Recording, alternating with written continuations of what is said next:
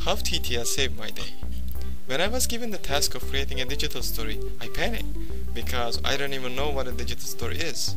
What was even more frustrating is that I had to finish it in three days.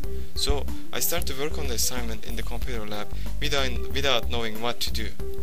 Then I remembered that my instructor told me about the TTL, so I went to give it a shot.